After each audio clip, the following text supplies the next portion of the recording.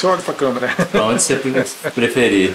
Então, meu nome completo é Rogério Gouveia Maciel. Você nasceu onde, Rogério? Nasci na capital, São Paulo. São Paulo, capital. Isso. A sua idade? Eu estou com 55 agora, rapidamente indo para 56. 55. Então, Rogério, é, essas entrevistas são sobre esse movimento dos desigrejados, né? Uhum. Eu perguntei para você, você falou que frequenta uma igreja, mas durante alguns anos você foi um desigrejado. Sim. Você se autodenominava desigrejado ou não? Não. Você só veio a saber depois que era isso? É, eu nem conhecia o termo. Nem conhecia o termo, né?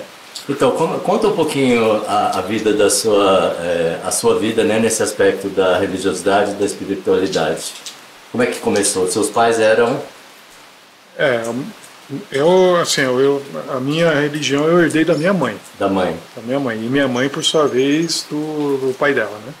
Uhum. É, na verdade, assim, eles passaram para a igreja na mesma época, né? O meu avô já era adulto, minha mãe acho que tinha uns 12, 13 anos, né? Mas por conta do meu avô, da minha avó, minha mãe e minhas tias se, é, se tornaram também, né? Da, da mesma. Pode falar o nome da igreja? Por favor, é. Adventista Sétimo Dia, né? Então, mas antes, o seu avô, né, você falou que ele se converteu e a sua mãe tinha 12 anos. Qual era a religião anterior dele? Você lembra? Falaram para você? Você não sabe? Ah, eu, eu não sei dizer, não sei. Porque a, a, minha avó, ela já é de família adventista há muito tempo. Uhum. Embora ela não fosse. Que eu é, tem um tio dela que se chamava Abrão, inclusive patriarca bíblico, né? É. E através dele é que o adventismo entrou na, na nossa família, né? E aí, depois de muito tempo de casados, aí o meu avô também se converteu. E a sua mãe foi e, junto? E a minha mãe foi junto, minhas tias que eram adolescentes também. Toda, quer Tá dizer, certo. uma era pré-adolescente, que minha mãe era adolescente, outra é pré-adolescente, outra pequenininha. Aí se foram se tornar. Só que ah, hoje só minha mãe e eu que somos, né? Meus irmãos são tudo fora da igreja. Tá. Então você cresceu nesse ambiente é, adventista do sétimo dia, é isso? É, qu- quando minha mãe se casou, ela também deu uma afastadinha, porque o meu pai ele não era. Uhum. Meu pai, a minha avó é, paterna, ela era espírita. E o meu avô não tinha religião. Ele dizia que era católico, mas Uhum. sabe aquele que fala católico não praticante? Sei, sei. Então, ele era assim, né? E aí, quando minha mãe se casou com ele, ela ficou um períodozinho, assim, não sei quantos anos. Mas eu me lembro que quando eu é, comecei a igreja, eu era muito pequeno. Talvez eu tivesse uns 3, 4 anos de idade. Eu só sei que eu era pequenininho, mas eu lembro da primeira vez que eu fui à igreja. Tá. E, e os adventistas do sétimo dia, eles têm uma dieta, uma alimentação meio diferenciada, não tem? Tem. Você Tem. lembra disso na sua infância? Lembro, lembro. Ah. Eu lembro, inclusive, assim, a gente, quando eu tinha acho que uns 7, 8 anos, que eu morava lá em Catanduva, né? Aham. É, aí a gente foi almoçar na casa do ancião da igreja e foi a primeira vez que eu ouvi falar a palavra vegetariano, né? Aham. E aí depois eu perguntei pro meu pai o que, que é vegetariano, né? Vegetariano. É, eu consumi meio italiano É. com vegetariano, né? Não tinha nada a ver uma coisa com a outra, mas é ideia de criança, né? Então, é, nessa época já, desde essa época, eu comecei a ter contato com essa filosofia, vamos dizer assim, né? Uhum. de não é só alimentação, na verdade, né? É o Sim. é o estilo de vida saudável. Né? E, e, e, e estilo de vida saudável você incluiria o que, assim? Exercícios, É, nó- práticas? nós, nós temos uma, como poderia dizer, uma, não é bem uma doutrina, mas é uma. É, Seria sugerido para as pessoas isso? é, eu, não, eu não me lembro exatamente os termos, mas nós falamos assim, que nós temos qua- é, oito remédios da natureza, ou oito remédios naturais. Ah. que, que são o segredo para se ter uma boa saúde, né? um, um- estilo de vida saudável, que é, é luz solar, água pura, alimentação, no caso seria é, uma alimentação bem regrada, né? É, se abster totalmente de alimentos que, que fazem mal e ser moderado nos alimentos que fazem bem, porque o alimento que faz bem exagerado também pode fazer mal, né? Uhum. Então eu já falei quatro, né? Então foi água, luz solar, alimento foi três. Repouso, é, o repouso também é, a gente não leva muito em conta, mas o horário de dormir, a quantidade de horas que se dorme, né? Tá, a qualidade do sono, tudo isso é importante. Então, exercício físico, que são coisas que normalmente a gente já é, vê por aí, né? Qualquer um que pode se beneficiar é, disso, né? Isso, respirar ar puro. É, eu, eu, só lembro mais um, mas eu falei, eu, eu falei seis. Você falou oito, né? É, são oito no total, são eu falei oito. seis. E o mais importante é a confiança em Deus, né? Eu não me lembro qual que é o outro, não. Mas. Amizade. Assim, talvez, seria né? temperança, né? Em tudo, temperança. Ah, temperança. Temperança. Tá, evitar os extremos, então. Isso, evitar os extremos em tudo, né? É, excesso de trabalho é, é prejudicial, é, até excesso de exercício físico, né? Que eu costumo dizer, né, que o melhor exercício físico é você pegar uma enxada e cavar a terra. Ah, você não precisa então, de academia então são dois. São dois que falam a mesma É, coisa. nada contra quem vai na academia, mas você É. precisa ir na academia para ter boa saúde. Pois é, mas pelo menos eh, tem uma vantagem a enxada. Você está no ar livre. Na Exatamente. academia você está no ambiente fechado, gente. Exatamente. E respirando- você exercita tudo, sem ficar concentrando muito numa parte só do corpo, né? Você exercita tudo. Legal. E, e a sua preocupação é outra, né? Não é uma preocupação estética. É, e uma coisa legal também, né, o caipira, é andar de pé no chão. Eu não vou filmar, É. mas o Rogério está sem sapato aqui. É. Uma das primeiras coisas que você fez foi na hora que você chegou aqui foi tirar o sapato, né? É, eu, eu gosto de andar descalço. Eu tava até pensando em caminhar ali na grama, agora tá encharcada, né? É, mas dá pra andar, depois você É, enxuga, depois né? você- é. Ô Rogério, então, você cresceu nesse ambiente e teve um momento da sua vida que houve alguma ruptura. Você parou de frequentar a igreja, é isso? Foi. Foi uma coisa súbita assim ou foi aos poucos? É, a gente, a gente nunca se afasta de uma forma, é que nem um divórcio, nu- nunca Vai acontece. acontecendo. Vai indo, vai indo, aí a gente começa a criar algumas é, divergências, algumas ideias É. é, que, assim, ou, ou começa a ver contradição na doutrina, né? Às vezes, às vezes até procede, às vezes não, às vezes é coisa da cabeça da gente mesmo, né? Começa a sofrer influência de outros é, aspectos, né? E aí eu, eu tinha, acho que 30... Ah, foi, é, 34 para 35 anos, né? Quando isso aconteceu, há 20 anos, 20 e poucos anos atrás, né? E o meu problema foi divergência com a doutrina, né? Eu peguei, entrei em contato com o pessoal assim que estava meio revoltado com a igreja. Hum.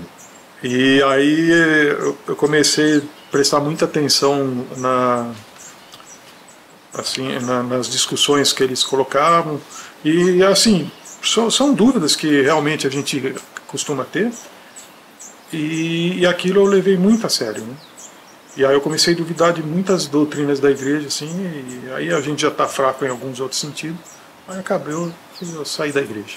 Você saiu. Na, na verdade, eu fui excluído do corpo de membros, né? Ah, porque você estava muito provocador lá dentro e É. estava incomodando. Eu- Será que é isso? Na verdade, olha, o que que acontece? Na- dentro da igreja adventista, é, vou chamar de hierarquia, a hierarquia eclesiástica, nós temos o pastor e tem o ancião. E, e depois o- os líderes de, de vários departamentos dentro da igreja estão subordinados ao ancião. Então, e, e o ancião, então, ele faz a ponte entre o pastor e os, os outros líderes e os membros da igreja. Né? Ele seria uma espécie de pastor, só que um, é, é um, é um pastor não dedicado exclusivamente Tá. à, à- àquela obra. Né?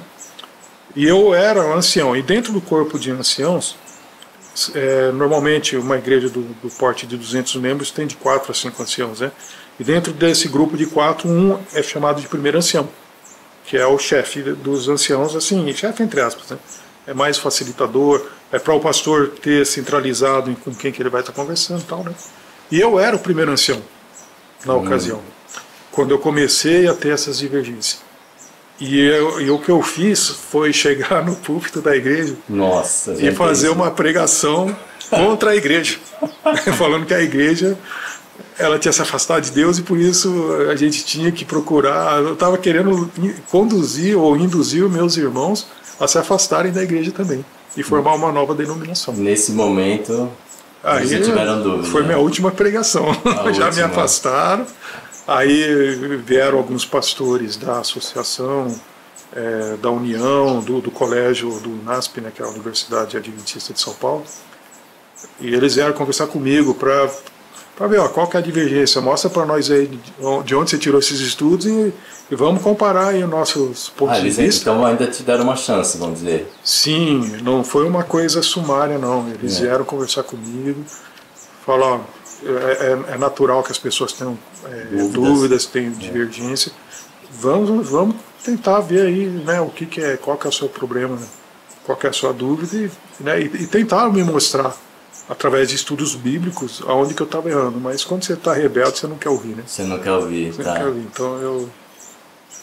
Você pode falar, não sei se sente a vontade para dizer em que ponto exatamente era a, não, posso a, falar, a maior...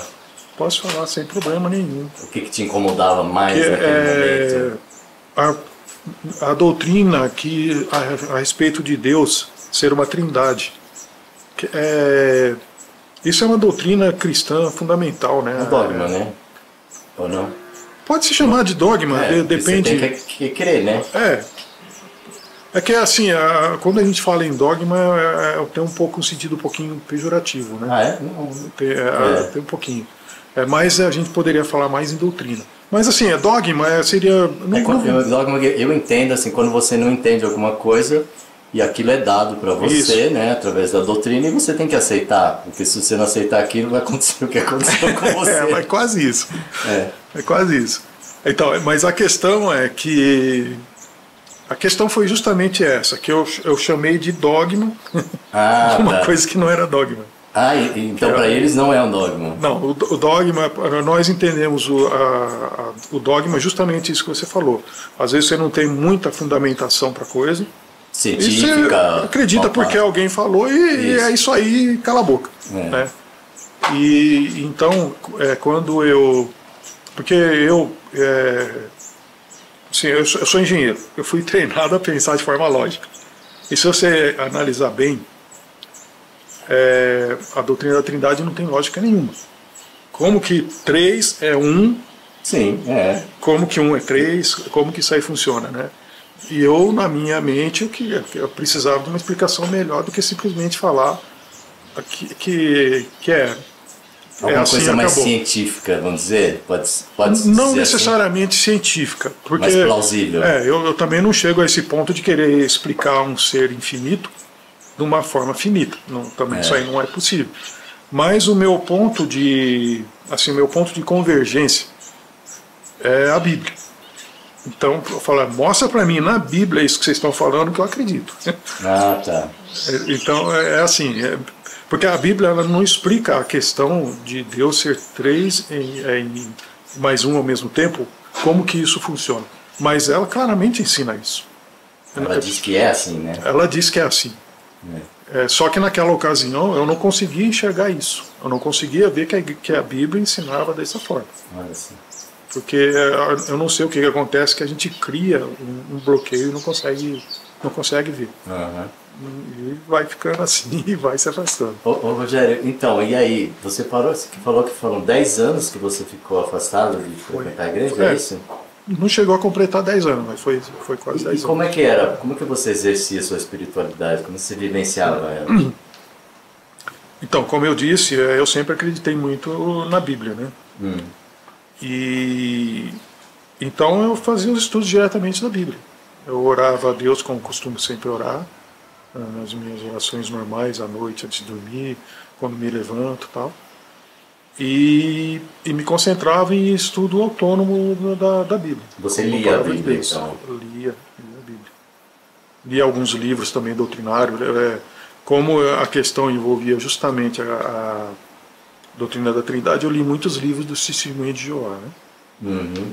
É, então nessa ocasião cheguei até aí algumas vezes no salão do reino lá que o meu sócio a esposa dele ela era ela agora é eles que são desigrejados né? ah é eles é, são que eles se afastaram também do do, do de Jeová mas eu cheguei aí no salão do reino com eles eu fui em algumas outras denominações tal mas não, nenhuma deu nenhuma me deu a resposta que eu precisava tá certo então, você passou todos esses anos e o que que fez você retornar para onde você tinha saído, que era Adventista sétimo dia?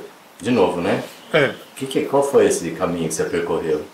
Esse foi um caminho bem interessante. A primeira coisa que a primeira coisa que, que assim que me fez é, começar a, a, pensar um pouquinho diferente do que eu estava pensando é que aquelas pessoas com as quais eu tinha entrado em contato e que me fizeram acreditar diferente do que, eu, do, do que a igreja ensina, eu vi que a concentração delas, a religião delas, vamos dizer assim, era atacar a nossa igreja, a igreja adventista, a, a ex-igreja deles, que eles também eram rebeldes. E, e eu não acredito numa religião que viva de atacar as outras. Sei. Mas eles formaram uma dissidência? Né? Chegaram a formar. Denominação e tudo? Chegaram a formar. Ah, tá. E, mas eles viviam na base de atacar o outro. É. De, inclusive, deve existir alguns grupos desses até hoje. Não sei se ainda prossegue na, nos linha. ataques. É. Mas naquela ocasião era, era, a tônica da pregação deles era essa, era falar que a igreja adventista era uma seita, é, era algo que tinha se afastado dos ensinos bíblicos. Ah, então esses que a dissidência se dizia mais ligado às origens é isso. e a adventista teria se desvirtuado. Exatamente, isso aí. Então esse aí foi um dos fatores. É, o segundo fator é que estudando os próprios livros da igreja, livros antigos, textos antigos, é, bem de antes de quando falaram que a igreja, porque assim a ideia é que a igreja adventista quando começou não acreditava na doutrina da Trindade, em algum momento ela extraviou da verdade e passou a acreditar nisso, né? E aí pois foi posta até essa a data de 1980 como a data dessa inversão. Hum. E aí pesquisando livros muito anteriores a isso, do, do começo do século XX lá, 1910, 1915, livros que foram da igreja que foram publicados nessa época, a gente começou a ver, eu comecei a ver que não é isso, que isso não é verdade, que a igreja acreditava desde o início nessa uhum. doutrina. Embora muitos dos pioneiros realmente não acreditassem. Os pioneiros da igreja adventista tinha muitos que não acreditavam e tinha muitos que acreditavam. Então já existia uma controvérsia lá no começo. Mas a igreja como corpo, como denominação, ela, ela quando ela formou o seu corpo doutrinário, ela sempre acreditou nessa doutrina. Né? Então então já começou também, é, além de, da questão de sempre atacar, estava baseado numa mentira. Né? Uhum. Então eu falei, bom, então. Aí você já começou é. a duvidar do seu próprio caminho que você tinha escolhido. É, e eu sempre fui cético comigo mesmo, né? eu, eu sempre duvidei de mim mesmo. Você então, consegue se observar a ponto de ser crítico com você mesmo? É isso que você está é, falando? É, eu consigo, é. acho que consigo. Então eu, eu durante todos esses anos eu é, eu comecei a, assim estudando tal e, e, pela própria Bíblia, né, e vendo alguns estudos, eu via que assim das duas uma, ou eu deixava de acreditar na Bíblia, que era a minha base segura, ou eu acreditava nessa doutrina, porque não, não, não eu, eu, assim não havia incompatibilidade. Eu comecei a ver assim que que eu tinha que tomar uma decisão. E se eu deixasse de acreditar na Bíblia, eu ia me tornar um ateu. e eu não consigo olhar para tudo isso aqui e falar que não, ninguém criou isso aqui. Não tem como. Pode até não ser do jeito que eu imagino que seja, mas que alguém criou, alguém criou. Então, mas você falou que se você deixar de acreditar na Bíblia, você vai se tornar um ateu. Eu vou deixar de criar, porque para mim a Bíblia é o guia mais seguro que mostra o Criador. É, ela é a minha base. Então, mas, mas pode ter outro, você admite. Para você não. Assim, Como é que é isso? como que eu posso dizer sem ofender aqueles que não acreditam na Bíblia? Não, você está falando de você, né? É, então, mas eu sei lá, né? Por exemplo, é, eu acredito num Deus que ele, ele é muito mais do que só uma entidade espiritual. É, uma, ele é um ser que realmente está interessado na gente eu acredito que ele deixou a palavra dele e, e quando e essa palavra é a Bíblia, né? Alguém pode dizer não é só mais um caminho, não. Para mim ela é o caminho. É Aliás, ela é um mapa, né? Ela é um mapa. É o único pelo que é, você está falando. É. é. isso é na minha crença. Sim, sim, Respeito sim. aqueles que acreditam diferente. Não vou atacar eles, falar que que são do mal, nada disso. É, mas eu acho que você está falando é o que você, a sua percepção, o seu sentimento, né? É, porque se eu não acreditasse assim também, eu deixaria de ser cristão e seria qualquer outra coisa. Né? É, não, é que você é. falou que seria ateu. Eu achei muito forte, né? Porque não, eu seria. se achasse um outro caminho. É, né? é naquele momento, eu, eu, esse foi o pensamento que eu tive naquele momento. Ah, tá, naquele momento. Naquele momento. Entendi, tá. Até porque eu já, eu já pesquisei alguma coisa de algumas denominações, denominações não, mas religiões orientais. Sei. É, que não seguem a Bíblia e aquilo lá realmente não me convenceu. Sim. Né? Então, com todo respeito a quem Então acredita. você tentou, né? Não foi por falta de tentar. É, não, não foi. Quando você está perdido, você tem que achar algum caminho. Tá certo. Então aí eu, e aí eu, como a minha base sempre foi a, Bíblia, é, então eu, eu, eu, me pautando por ela, eu comecei a ver que é, ou, ou eu acredito no que ela diz, ou eu deixo de acreditar. E nesse caso eu seria um ateu. Ah. Pode até não ser ateu, poderia me tornar um budista, um muçulmano, sei lá, mas. Uh -huh. Mas naquele momento eu me via como ateu. Mas tal, talvez seja isso, você precisa dessa, esse guia, né? Que é, é a Bíblia, né? É isso. isso. E podia ser algum outro livro religioso. É, de talvez. repente eu aprendesse, eu lesse o Alcorão, me convencia, é. se eu me tornasse um muçulmano, não sei. Entendi.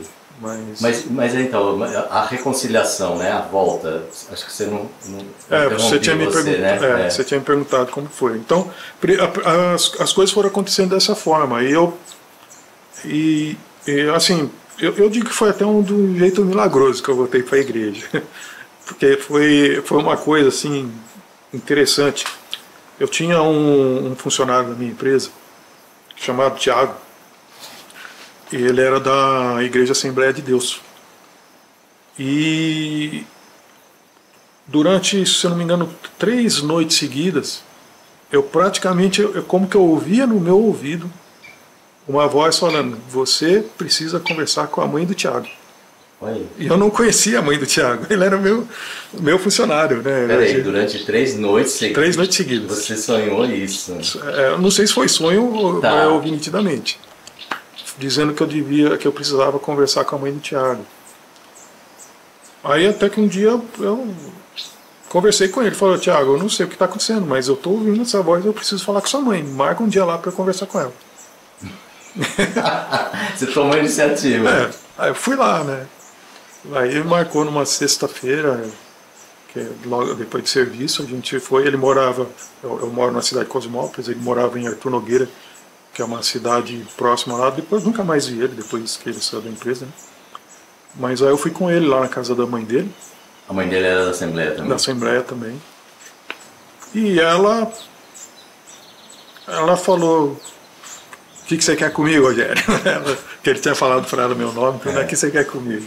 Aí eu contei para ela o que estava acontecendo. Aí eu, eu não sei porque ela começou a falar um monte de coisa para mim. Falou: Olha é, talvez o Tiago tivesse contado para ela que eu estivesse afastado da igreja, né? Uhum.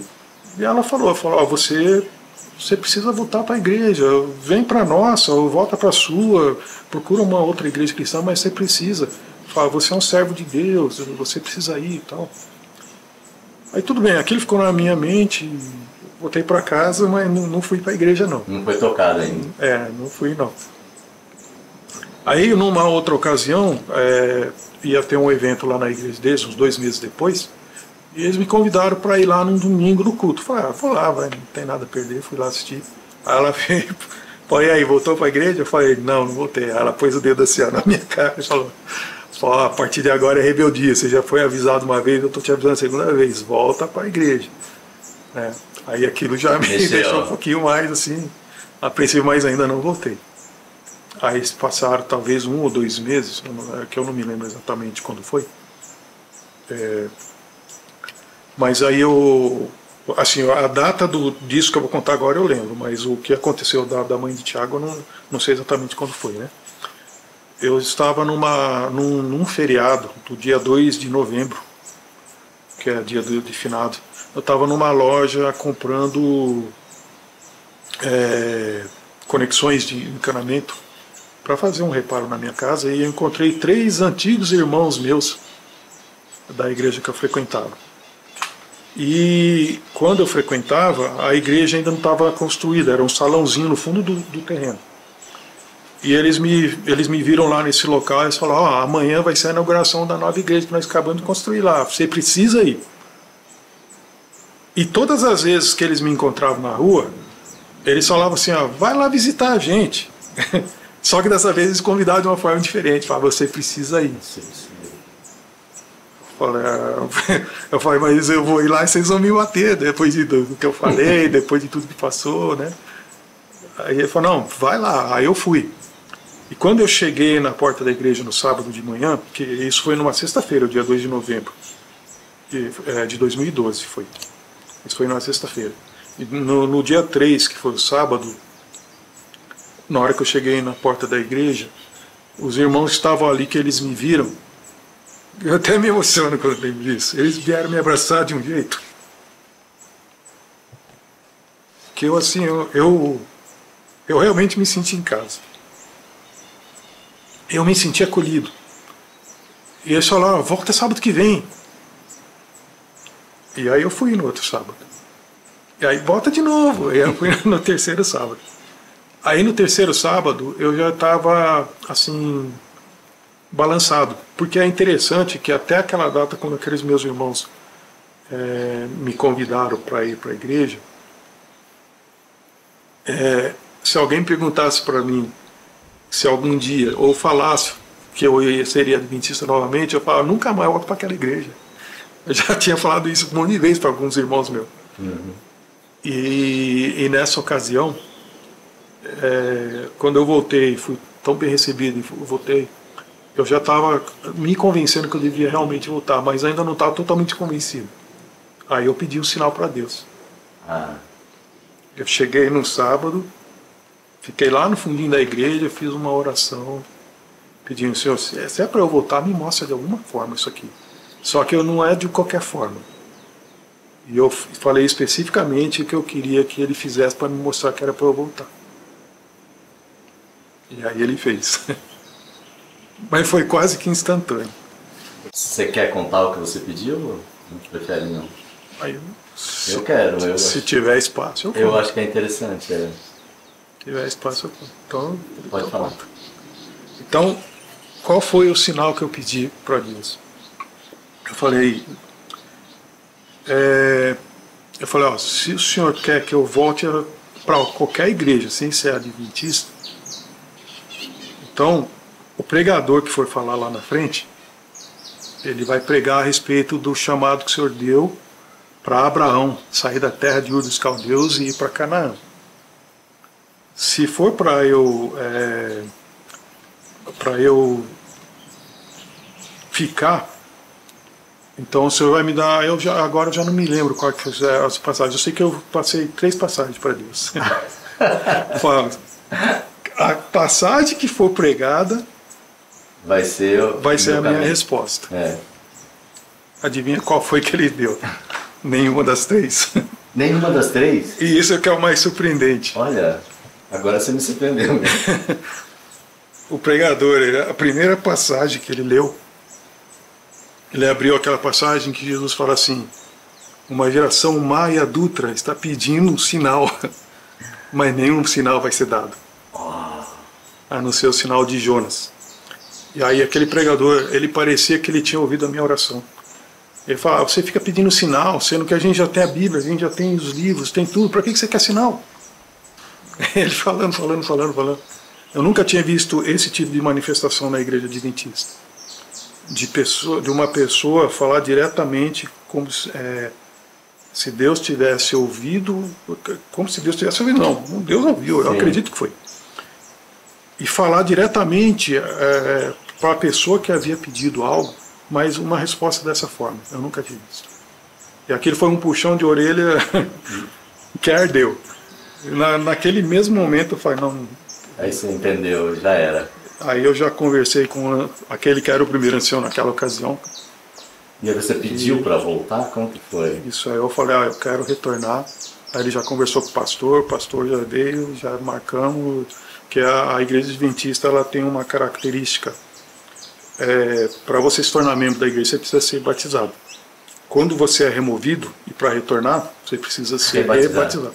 Ah, tá. É, então eu fui, eu fui rebatizado. Então eu solicitei o rebatismo e fui rebatizado.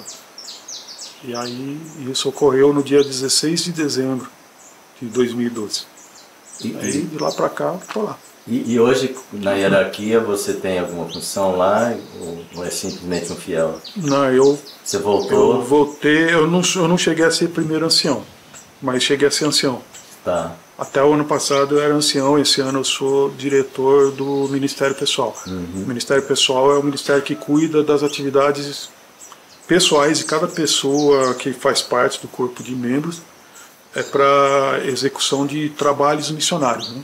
Qualquer trabalho missionário, seja é, assistência social, seja pregação, é, enfim, tudo ah. que envolve o trabalho pessoal da, do, dos membros da igreja em benefício é, ou da própria igreja ou dos seus vizinhos, semelhantes, dos seus irmãos. Comunidade, né? Isso. Rogério, eu gostei, muito legal. Valeu, valeu muito ter entrevistado é. você. Eu achei bonita a sua história. Amém. Obrigado por ter compartilhado. Que muitos possam ser tocados por ele. Sim. Legal.